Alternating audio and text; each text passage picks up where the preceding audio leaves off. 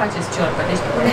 Uh, ciorbe de legume, răz, aș tot așa facem legumele, cum este asta, uh, călim un pic uh, și uh, bucățele de sângerete, când e rece, feliem și când este aproape gata, băgăm. Și la urmă, rantașul acesta, care v-am povestit, uh, nu, nu pune mult sare, că uh, zeama e sărat.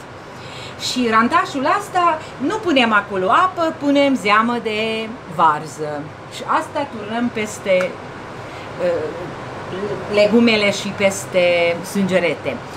Uh, nu este așa de arătos că devine negru, dar că uh, nu poți să porționezi sau nu poate să rămâne întregi, dar foarte, foarte gustos este.